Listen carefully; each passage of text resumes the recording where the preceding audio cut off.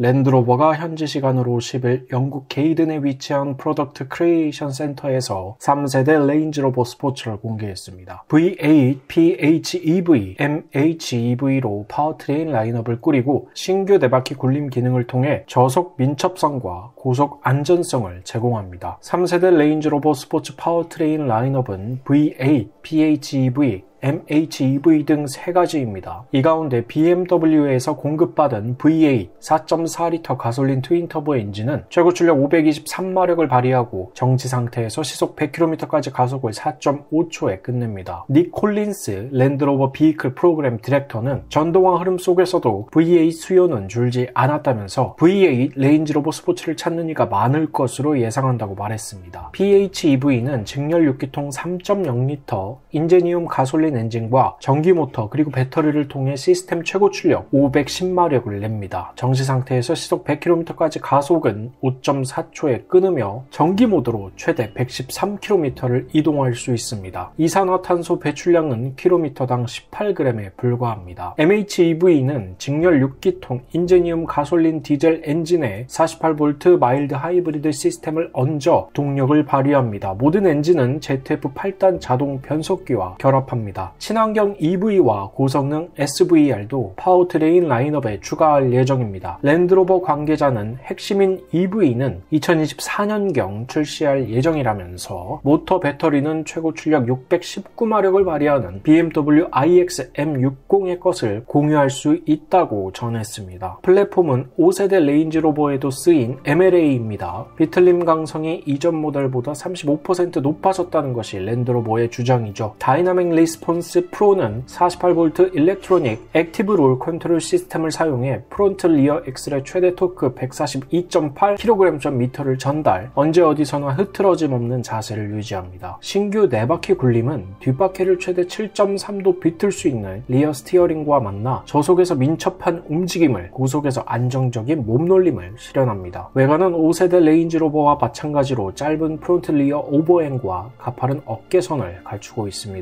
프론트 리어 도어 램프는 얇게 처리했습니다. 이음새 없이 간결하게 마감한 플러시 글레이징과 플러시 도어 핸들, 레이저로 용접한 루프 등은 세련된 외관을 완성합니다. 휠베이스는 이전보다 75mm 길어져 넓은 2열 무릎 공간을 제공합니다. 실내는 운전자 중심으로 설계했습니다. 13.7인치 디지털 클러스터가 주행 정보를 직관적으로 전달하고 13.1인치 인포테인먼트 시스템은 무선 소프트웨어 업데이트, 무선 애플 카플레이, 안드로이드 오토 등을 모 지원합니다. 게리 맥거번 랜드로버 크리에이티브 디렉터는 3세대 레인지로버 스포츠는 스포츠 SUV 시장을 재정의할 강력한 모델이라면서 레인지로버 첫 파생 제품인 만큼 심혈을 기울여 제작했다고 말했습니다. 3세대 레인지로버 스포츠는 영국 솔리얼 공장에서 양산하며 트림 라인업은 SSE, HSE, 오토바이오그라피등 4가지입니다. 유럽 시장 소비자 인도 시점은 9월입니다. 국내에는 이르면 연말 출시할 것으로 추측합니다.